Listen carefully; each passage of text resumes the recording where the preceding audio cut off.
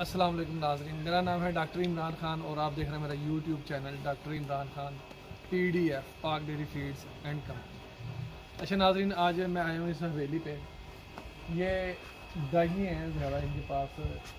आप देख सकते हैं ये अब सर्दी का मौसम है। इन गायों का जो बीमारी के बाद जो सबसे बड़ा मसला है वो ये है कि ये दूध नहीं बढ़ा रही है। एक तो सर्दियों में आपने करना ये है कि जानवरों को दूध और अंडा मिक्स करके फेंट के अंडे को, नीम, गर्म दूध और एक अंडा।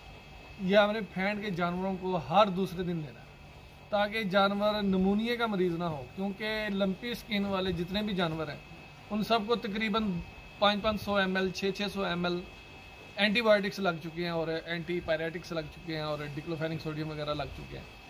और इनका इम्यून सिस्टम बहुत ज़्यादा वीक हो चुका है। सर्दियों के लिए, सर्दी से बचाने के लिए आपने अपने जानवरों को दूध आधा किलो और एक अंडा। वो अच्छी तरह फेंट के आपने एक दिन छोड़ के, एक दिन के बाद आपने दूध और अंडा इनको पिलाते रहना है, ताकि जानवरों का कैल्शियम पूरा हो और इनकी इम्यूनिटी जो है वो पूरी हो जाए। अंडा एक मुतवाजन खुराक है, इसलिए अंडे का होना है इंतहाई ज़रूरी है। उसके बाद नाजरीन, जो गायें दूध नहीं बढ़ा रही हैं या अपनी अब जसामत मोटी नहीं कर रही हैं, उनके लिए मुतवाजन खुराक का होना इंतहाई ज़रूरी है।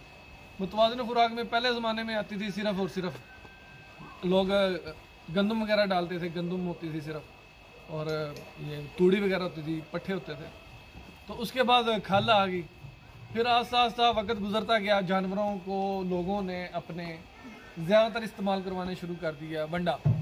वंडा मतवाजन ना होने की वजह से जानवरों की दूध पैदा करने की जो अहलियत है, वो कम होती चली गई। जो जानवर इक्कीस बाईस लीटर या जो गायें पैंतीस छत्तीस लीटर दूध देती थी, उनकी दूध देने की पैदावारी जो अहलियत है, सलाहियत है, वो इतनी कम हो गई है कि जानवर अब पंद्रह लीटर, सतारह लीटर से ज़्यादा दूध नहीं देती, गैयाँ। और जो भैंसें हैं, ये देखिए, ये भैंसें हैं हमारी। तो ये इनकी दूध देने की जो अहलियत है, वो तकरीबन 12-13 लीटर पे आ गई है। तो नाजरीन, मेरा मतवाजन खुराक का, मैं बार बार मतवाजन खुराक का ज़िक्र इसलिए करता रहता हूँ कि जानवर मतवाजन खुराक की वजह से ही दूध देगा, बच्चा पैदा करेगा और हवाना भी बचा के रखेगा। जिन जानवरों को मतवाजन खुराक नहीं मिलती, मसलन जिस खुराक में गंदम हो, मकई हो और कैल्शियम पाउडर हो मल्टीविटामिन हो कनोला हो सोयाबीन हो बनोला हो, और मतवाजन खुराक उसे ही बोलते हैं। जो वंडे आम नाकस वंडे जिनमें वो खक वगैरह डाल के वंडा बना रहे हैं, या जो भी नाकस वंडे इस्तेमाल हो रहे हैं, जिनकी वजह से जानवरों की बहुत ज़्यादा कमज़ोरी आ रही है। जानवरों में हड्डियाँ बहुत ज़्यादा नज़र आना शुरू हुई थी, कैल्शियम की कमी की वजह से हाइपोकैल्सीमिया के मरीज़ हुए थे मतवाजन खुराक नहीं होती जो बाजारी वनडे जो नाम हाथ बाजारी वनडे हैं, उनकी वजह से।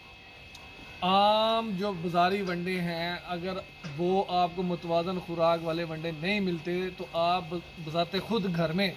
ये जो अज्जा मैंने आपको बताए ये दादड़ करवा लें, जो ममनी है, गंदम की ममनी है, वो कर ले लें, मकई ले लें, उसको दादड़ करवा लें। खल ले लें, बनोले की, सोयाबीन ले लें और कनोला ले लें। और इसमें आप इस्तेमाल करें चोकर। और थोड़ा अगर शीरा मिल जाए तो वो भी ठीक है। अगर शीरा नहीं मिलता तो कोई मसला नहीं, आप गुड़ का इस्तेमाल कर सकते हैं। तो सर्दियों के लिए ये मतवाजन खुराक है, ये जानवरों को लाजमी मिलनी चाहिए। और एक दिन में कम से कम कम से कम आपने जानवर को, फ़ी जानवर, चार से पाँच किलो ये जो फ़ीड है, ये जो वंडा है, ये आपने इस्तेमाल करवाना है। अगर मसाल है आपको मतवाजन वंडा ये नहीं मिलता, आपको बाज़ार से ये चीज़ें नहीं मिल सकती तो आप कोशिश करें कि हाई लैग जो फ़ीड है हाई लैग फ़ीड है हाई लैग वंडा है, जो पाक डेरी फ़ीड एंड कंपनी का एक मुतवाजन खुराक वाला वंडा है, उसका इस्तेमाल शुरू करें। हमने जब से उस हाई लैग वंडे का, पाक डेरी फ़ीड का जो हाई लैग वंडा है, उसका इस्तेमाल करवाया तो जानवर मोटे ताज़े हुए। और दूध भी अब इनका, गायों का भी दूध बढ़ना शुरू हो गया अब। और गायें जो हैं, वो चमक में भी आना शुरू हो गई और इनकी जो पैदावार दूध पैदा करने की सलाहियत है, उसमें भी इजाफा हो रहा है, और ये अब ठंड भी नहीं मनाएँगे, इंशाल्लाह। जैसे जैसे आप हाई लैग फ़ीड का इस्तेमाल करवाएँगे, जानवर एक तो ठंड से बचा रहेगा और दूसरा उसकी मल्टी विटामिन जो डेफिशिएंसी होगी विटामिन की, या कैल्शियम की डेफिशिएंसी होगी, वो भी पूरी हो जाएगी, इंशाल्लाह। उसकी वजह यह है कि हाई लैग फ़ीड में तमाम तरह अज्जा हैं, जो मैंने आपको बताए हैं, तफसील के साथ जो बताए हैं, और उसमें आपको किसी दूसरी चीज़ एक्स्ट्रा चीज़ देने की ज़रूरत नहीं पेश आएगी, इंशाल्लाह। और जानवर आपका चाहे गाय वो भी अपनी उस अहलियत पे चली जाएँगी, अगर उनके दूध देने पैदा करने की अहलियत पैंतीस लीटर है तो वो पैंतीस लीटर तक ही दूध देंगी। शर्त यह है कि आपने दिन में तीन से चार किलो वंडा सुबह खिलाना है, और तीन से चार किलो वंडा शाम को खिलाना है। अगर आपने दूध की पैदावार की जो अहलियत पे लेके जाना है अपने जानवर को, कम अज़ कम छः से सात किलो वंडा खिलाएँ। इसी तरह आपने भैंसों के लिए यही करना है। भैंसों को भी आपने दिन में छः किलो वंडा जो है, पूरे दिन में लाजमी खिलाना है, ताकि ताकि जानवर जो है वो आपका जैसे भैंसे की मोटी ताज़ी है, ऐसे मोटे ताज़े हों। और इन जानवरों की अब दूध पैदा करने की जो अहलियत है, वो तकरीबन 16 से सतारह लीटर पे आ गई है और आगे आगे जाके इंशाल्लाह आप देखिएगा, मैं फिर एक वीडियो बनाऊँगा, उसमें मैं आपको दिखाऊँगा। यही भैंसें जो हैं, ये जोड़ी जो है मन दूध पूरा करेगी इंशाल्लाह। बीस बीस किलो दूध देगी भैंस, इंशाल्लाह। उम्मीद है आपको मेरी वीडियो पसंद आई होगी। मेरे चैनल को सब्सक्राइब करें, लाजमी, और वीडियो को शेयर करें। लाइक करें। और अपने जो कमेंट्स हैं, उसे लाजमी मुझे बताएँ कि क्या आपने, आपको मज़ीद किस चीज़ के लिए मालूम चाहिए। और अगर आपको फ़ीड चाहिए, वंडा चाहिए, किसी भी तरह का हाई लैक है और हाई मीट है, वो भी आपको मिलेगा इंशाल्लाह, वो गोश्त बढ़ाने के लिए होता है। तो रबता कर सकते हैं, मेरा नंबर है ऊपर। तो इंशाल्लाह नेक्स्ट वीडियो में इंशाल्लाह आपसे मुलाकात होगी। शुक्रिया वालेकुम।